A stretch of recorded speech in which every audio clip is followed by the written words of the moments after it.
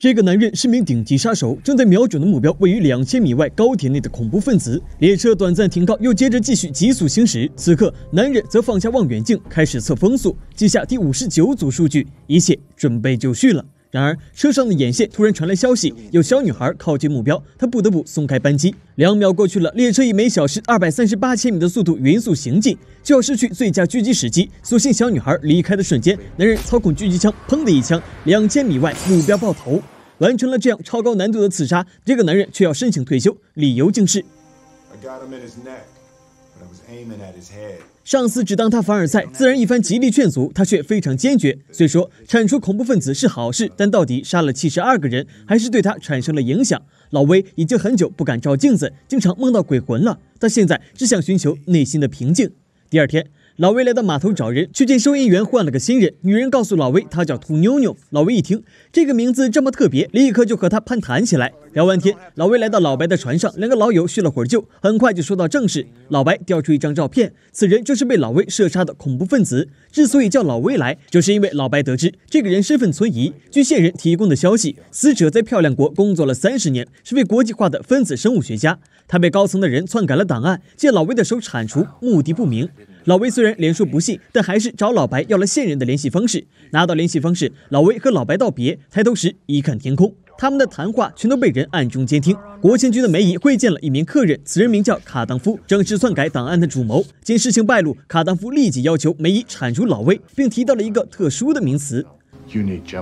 另一边，老威开着游艇回到码头，在船上发现了一枚窃听器。他来到码头的工作室，和秃妞妞当面对质。老魏见他继续装傻，突然一改态度，说要请他出去吃饭。没人可以拒绝全美最帅黑人威尔史密斯。餐桌上，老魏先道了个歉，然后把秃妞妞的特工证件拍到桌上。秃妞妞傻眼了，只能承认自己的身份。好在老魏知道秃妞妞只是监视自己，也没为难他。吃过了饭，还和他聊起了家常。老威在家中睡觉，却突然被手机震醒。来电的不是电话，而是警报，有杀手靠近房间。他立刻就给老白打了个电话，没想到老白早就被人干掉，和女友一起沉入大海。放下电话的老威高度戒备起来，直接干掉埋伏的狙击手。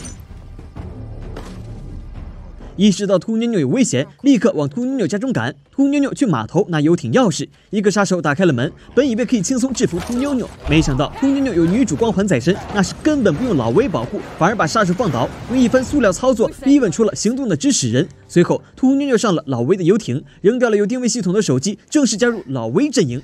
第二天，老魏在海滩上等到救援，他的朋友巴叔把两人接到了安全地带。在这里，老魏用反追踪电话联系到了上司，并从他那里得知梅姨已经和卡当夫联手。因为事情败露，卡当夫决定杀死老魏和屠妞妞。很快，一行人来到了哥伦比亚。一觉醒来，老魏看到杀手在房顶移动，为了不连累秃妞妞和巴叔，老魏嘱咐了一声，便迅速离开，独自一人前往街边。他正走着，手却往背后射出两枪，暗处的狙击手瞄准，险之又险的擦过老威。老威探头视察，差点又中一枪，趁换弹间隙夺命狂奔，埋伏在下一处地点，迅速组装。然而，瞄准镜里的男人竟是年轻时的自己。又是换弹间隙，老威转移地点，率先占领高处，一阵连扫，逼得对方在门口现身。老威本不想杀人，对方又和自己长得如此相似，老威好生劝说，对方毫不领情。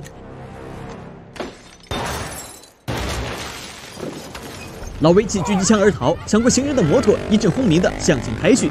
小威穷追不舍，两辆摩托远远相隔。老威举枪射击，惊险避让路上的车，继续向前。小威在墙上高地狂追，也是连连补枪。他迅速赶上，在老威身后连开数枪，子弹没了，就加速追到老威身边，一个摆尾把老威击落下车。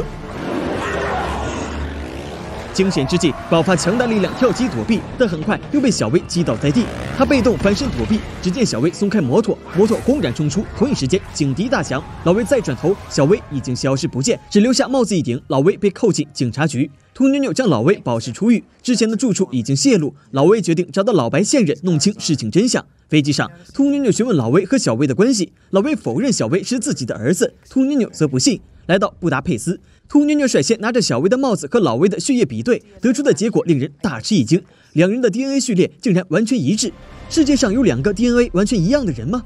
这个线人告诉老魏，老魏之前在列车上杀死的生物学家，七年前曾被卡当夫骗到美国，完成了一场克隆实验。这场实验成功克隆了老魏，产生的年轻克隆体正是小薇。卡当夫需要抛弃人性的杀手来帮他赚大钱，便把小薇当做儿子养大，训练他成为完美杀手。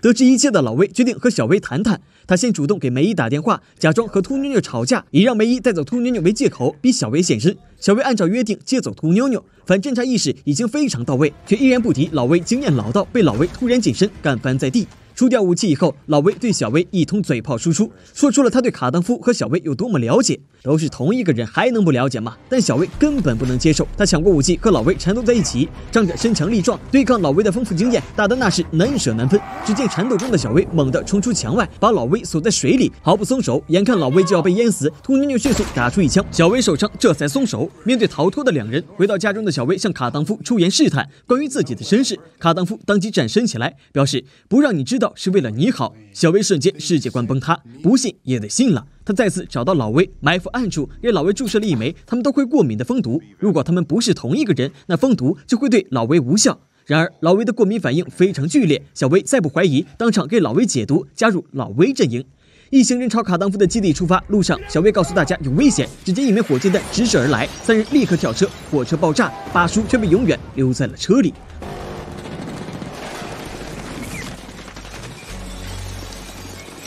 黑化的老魏立刻拉扯秃妞妞，并排开路，击退数人，带着秃妞妞藏身室内，凭借地形藏匿身形。另一边，小薇找到了卡当夫，争执之后，小薇把卡当夫打倒在地。看着养育自己多年的父亲，小薇终于还是没能开枪，放过了他。小薇前来支援，连开数枪解决杀手和老魏会合。然而，正在几人讲话间，一个身穿重甲的神秘人强势来袭，三人迅速躲避。小薇占领高处开枪射击，却被钢盔无敌防御。这个神秘人连番对阵老魏、小魏，毫不吃力，中枪着火，排一排，继续作战。几乎没有弱点，关键时刻还是靠兔妞妞大喊一声退后，击中货架上的易燃装置，引发爆炸。然而诡异的是，火海中的神秘人毫无痛感，三枪以后，他才终于倒在地上，再也站不起来。烟雾报警器熄灭大火，老威走过去揭开钢盔，赫然看到另一个小威。这下小威再也绷不住了，看着眼前小小威死去，卡当夫突然出现在三人身后，他指着地上的小小威，开始大谈他的战争理想，他要克隆无数这样没有痛感的杀戮机器，从而制造一支完美军队。这下小威终于明白了自己。在卡当夫心中的位置，对着卡当夫的脑袋举起了枪，但即将开枪的时刻，老威伸手阻止了他。老威了解自己杀死卡当夫将在小威心中留下无法磨灭的伤口，最终军队出面制服了卡当夫。